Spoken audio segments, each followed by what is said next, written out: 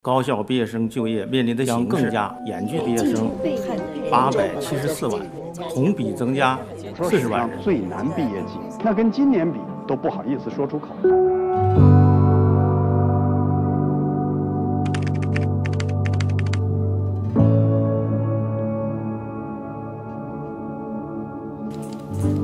呃，我叫杜明倩，今年刚刚毕业于香港大学的新闻系，现在就在一个找工作的阶段嘛。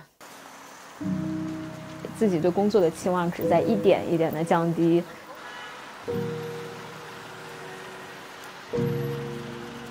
老师这边就说，就是疫情影响，就是整个的这个网站没有裁员已经很不错了，所以说再往里面招人其实很难很难了。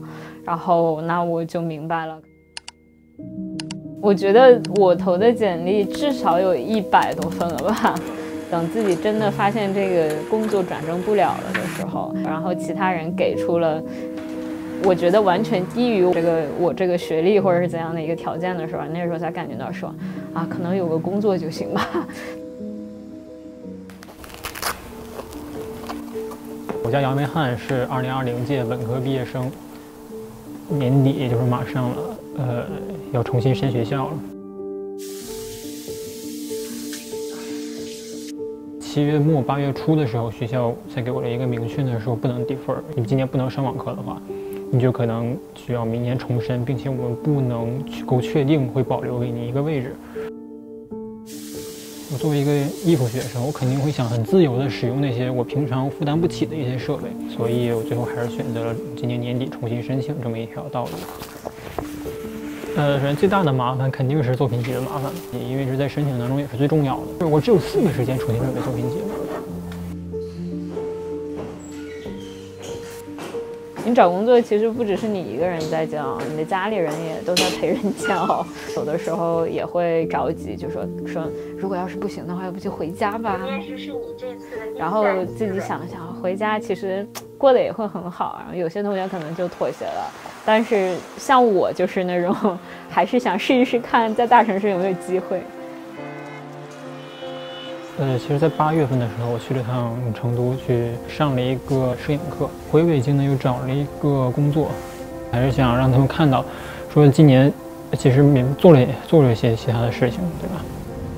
有时候你已经决定好了一条道路，现实情况其实可能把你打到一条你原先并没有计划走的一条道路上。其实这条路并不意味着是最坏的道路，你当初选择那条路也并不一定是最优解。其实只要知道自己想要什么，义无反顾的走下去就可以了。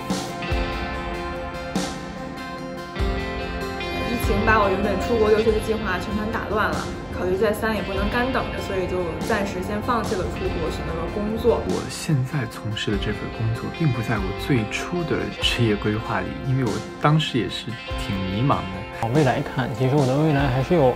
非常非常多的不确定因素，但是如果真到了未来再回看二零二零的话，其实也许这一切都只是一些生活上的积累。毕业后，现在是一名急诊发热预检护士，你会觉得自己被推着向前走，然后会真的觉得自己被更多的人所需要。